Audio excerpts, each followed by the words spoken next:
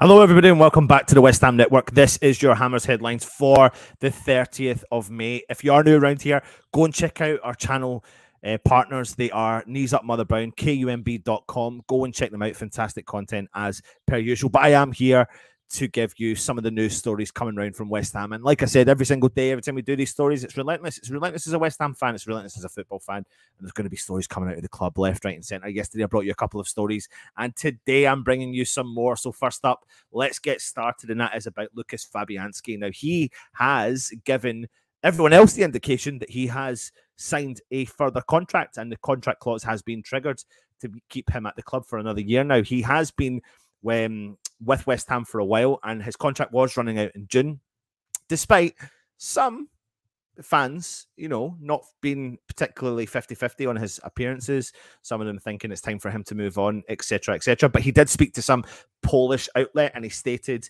that West Ham did meet two conditions of his contracts, which automatically brought a one year extension. He said, I had two conditions met in order to fill the clause in the contract. Both were fulfilled and it was automatically extended. One of them I felt would be easier to do than the other, but we had to fight for a place in the Premier League a little longer than I expected. Fortunately, this condition was met, so the contract was extended for a year. So I'll always be a West Ham player.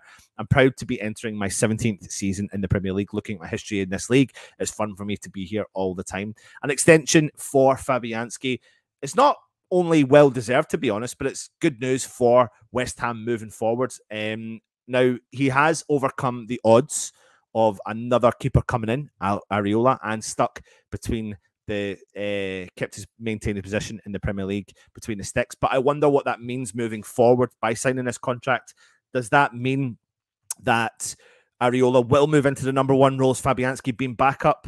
Um, if he doesn't and Areola doesn't, then I could see that changing and could potentially leave the club this summer. I think Areola will want some form of um, certain guarantees within reason um, that he will want to be the Premier League number one. However, something else to look at is the fact that Areola has gone on to perform in two European semi-finals and now will be in a European semi-final uh, for West Ham. And if he goes on to win it, then that could be enough to keep him at the club. Let me know your thoughts, though, on the potential shout out for Fabianski extending his contract at West Ham. But he's not the only one. According to sources close to the club, West Ham have triggered the extension options of Aaron Cresswell. Now, I reported yesterday about Vladimir Coufal, and it looks like Aaron Cresswell will be no longer a free agent because his contract was due to expire in June of 2023. And it looks like West Ham have opted to extend his contract by a further year. Although it's not been announced by the club, they see um, they have taken up the option for Cresswell, and that will take Cresswell to 10 years at the club. He joined West Ham from Ipswich Town back in 2014, and it's unlikely, um, you know, uh, it's unlikely he's going to leave the club now. And it looks like he's going to stay potentially, potentially to see out the rest of his days in a West Ham shirt. And I think this is a good move by West Ham. He's been around the club for such a long time. And I think it's vital that he stays part of that senior squad. And I think if he's going to be part of the squad, then so be it. But he can help define whoever steps into that role as left back. And I think he's still got a position at the club 100%. Just whether or not starting um, for West Ham is definitely uh, a, an interesting one to think about. Um, obviously, we, like I said, we did report that Vladimir Coufal also has his contract extended till next summer with the option of a further year on top of that. But I think Cresswell's got leadership. He's got experience in the dressing room. Um, I think he could be relied upon for the new season. Um, Emerson has shown that sometimes he is a better option on the left or as a left wing fullback, and there's likely to be another player brought in in that area.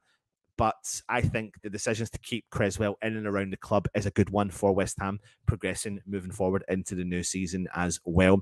Now, let me get on to the last story and probably the one you're joining me for and that is the fact that Ward Prowse of Southampton is going to be in big demand with potentially West Ham being one of the front runners for his signature. Um, now, the Southampton have been relegated. They're hoping that they can land up to 40 million pounds for their current captain. He is 28, and Southampton see him as one of their few chances to receive a huge fee in this transfer window as they look to fund their summer rebuild for a season in the Championship. They have other players that could sell as well. Lavia, who is a target of uh, for Liverpool, but I think Ward Prowse, who still has three years left on his current deal, will be in huge demand for many, many clubs. Now, West, West Ham, according to sources, have long tracked the English midfielder, and are keen to add a few other midfielders in that role to potentially replace Declan Rice. And despite Ward Price's uh, Prowse's age, Souttar still feel that there's a potential resale value in bringing him into the club. Um, given his goal scoring record and his assist record, as well as his set piece ability. Now, we've not had a player who can turn up and give you um, some danger from a set piece since Dimitri Payet, and Ward Prowse does certainly give you that vibe that he's very, very capable of doing that. Um, now, Ward Prowse did score against Liverpool at the weekend, and that takes him to a tally of nine goals from the central midfield role with four assists. And he has created more chances than any other English midfielder in the Premier League this season with 74. But no talks have been held between Ward Prowse and interested clubs at this stage, with um, him, you know, potentially going to be in high, high demand this summer. He was asked about the final game of the season. Was that his goodbye?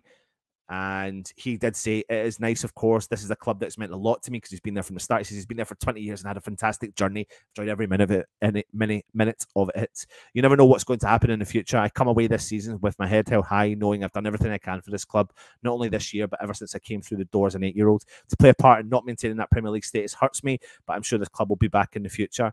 And it'll be interesting, though, moving forward to see where he goes and how much he does go for. But it could be in a West Ham shot. What do you think? Is he the man that can come in and take over Declan Rice's position? You let me know by putting it in the comments below. That brings it into today's Hammers headlines. Of course, if you are new around here, please hit the subscribe button. Why not support the channel as much as you possibly can? It does give us a good helping hand. Thank you very much for watching. Of course, take it easy and come on, you